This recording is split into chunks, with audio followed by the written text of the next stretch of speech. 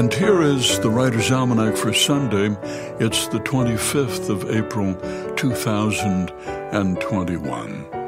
It's the birthday of Marconi, Guglielmo Marconi, born in Bologna, Italy, 1874, who was only 20 years old when he got interested in electricity and electromagnetic waves, or radio waves. Started building his own equipment. He wanted to improve on wireless telegraph technology. In 1895, he was able to transmit over a hill about a mile. Six years later, he sent and received a signal across the Atlantic Ocean.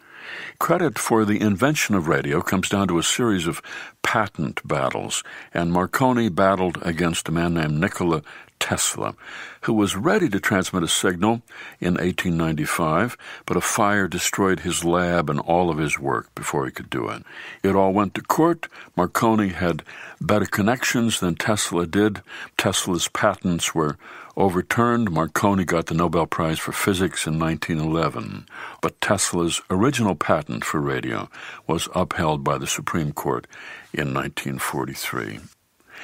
It's the birthday of the poet James Fenton, born in Lincoln, England, 1949. James Fenton, who said, The writing of a poem is like a child throwing stones into a mine shaft. You compose first, then you listen for the reverberation. It's the birthday of the poet Ted Kooser, born Ames, Iowa, 1939, who said, I had a wonderfully happy childhood. He started writing poetry seriously as a teenager. He said, I was desperately interested in being interesting. Poetry seemed a way of being different. Went to college, flunked out of grad school, took the first job he was offered at a life insurance company, worked there for 35 years. Ted Kooser says, I believe that writers write for perceived communities. I worked every day with people who didn't read poetry, who hadn't read it since they were in high school, and I wanted to write for them. So, every morning he got up at 4:30, made a pot of coffee, wrote until 7, then he put on his suit and his tie and he went to work. It's the birthday of Howard R. Garis, born in Binghamton, New York, 1873, who gave us Uncle Wiggily, the old rabbit in the suit and the top hat. Garis was a reporter for the Newark Evening News.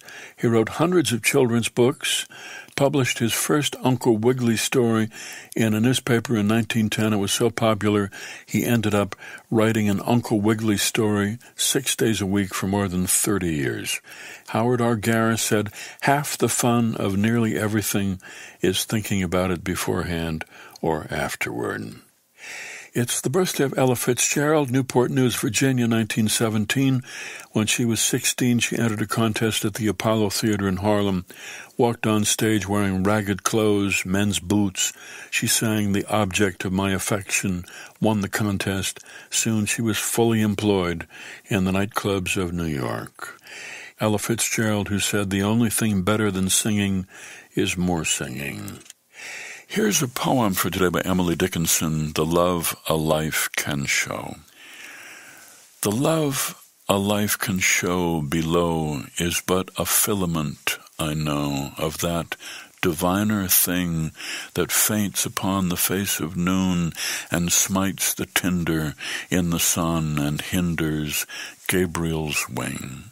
'Tis this in music hints and sways, and far abroad on summer days distills uncertain pain. 'Tis this enamors in the east and tints the transit in the west with harrowing iodine.